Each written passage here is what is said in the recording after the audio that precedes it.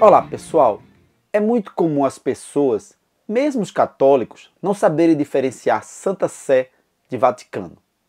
Há uma ideia comum no sentido de que Vaticano é a sede da igreja, é onde o Papa mora, é onde, no território do Vaticano, há o conclave.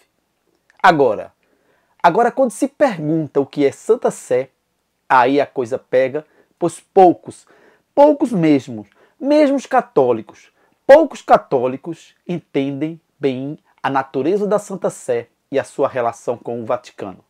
Às vezes, até mesmo em questões de concursos públicos, é feita uma baita de uma confusão. Nesse vídeo, iremos procurar dissipar as dúvidas existentes de forma simples e rápida. Então vamos lá.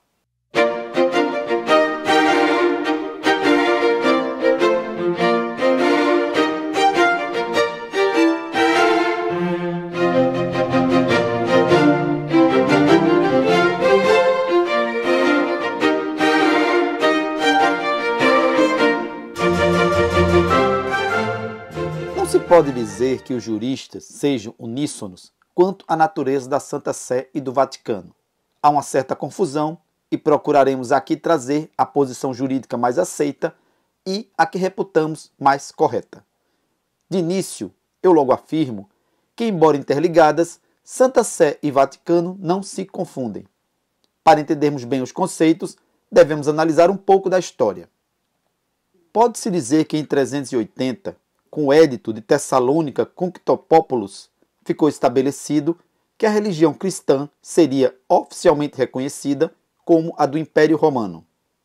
Pode-se então dizer que esse foi o nascedouro de uma série de regras que reconheceram a legitimidade da Santa Sé para participar das relações jurídicas internacionais. Vamos agora pular para alguns séculos depois. Existia, até 1870, uma disputa territorial entre o papado e a Itália. Era a chamada questão romana. Até esse ano, 1870, Roma era uma cidade-estado governada pelo Papa. Acontece que as tropas italianas invadiram e conquistaram tal cidade. O Papa Pio IX criticou fortemente as ações e se negou a reconhecer a perda de territórios. Dizia ser prisioneiro no Vaticano. Tal embrólio só acabou em 1929, no pontificado de Pio XI, com a assinatura dos Tratados de Latrão, que estabeleceram a criação do Estado soberano do Vaticano.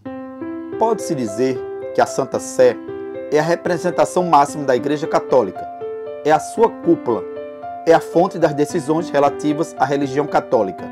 O chefe da Santa Sé é o Papa, que também é o chefe do Estado do Vaticano. A Santa Sé é sujeito de direito internacional, tendo capacidade para celebrar tratados. Ela situa-se no Vaticano. O cânon 352 do Código Canônico assim define Santa Sé. Sob a denominação de Sé Apostólica ou Santa Sé, deste código, vem não só o Romano Pontífice, mas também, a não ser que pela natureza das coisas e pelo contexto das palavras se depreenda o contrário, a Secretaria de Estado, o Conselho para os Negócios Públicos da Igreja e os demais organismos da Cúria Romana. E o parágrafo 1 do Cânone 113 determina que a Santa Sé é uma pessoa moral, ou seja, ela não recebe a sua autoridade de nenhuma outra, mas advém do direito natural, advém diretamente do seu fundador, Jesus Cristo. Até 1957, tanto o Estado do Vaticano quanto a Santa Sé podiam assinar documentos internacionais, mas, a partir desse ano, cabe apenas à Santa Sé tal atribuição. A sede da Igreja Católica situa-se dentro da cidade do Vaticano, que tem um território de apenas 0,44 km.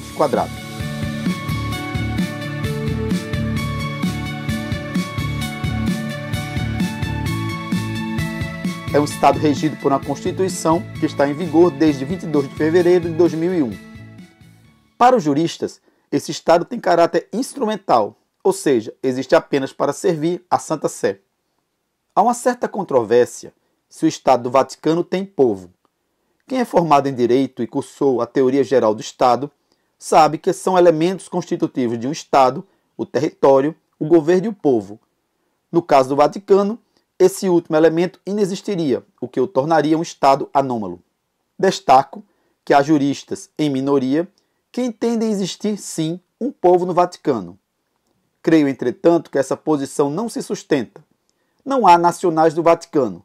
Se você, brasileiro, for trabalhar em tal estado, lá residindo, você permanecerá brasileiro.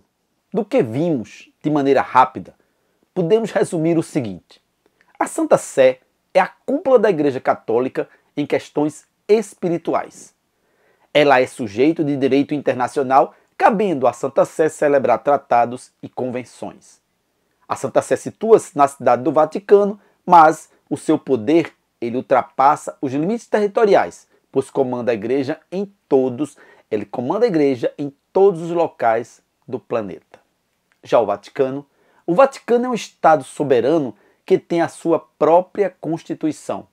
É no seu território que está estabelecida a sede da Santa Sé.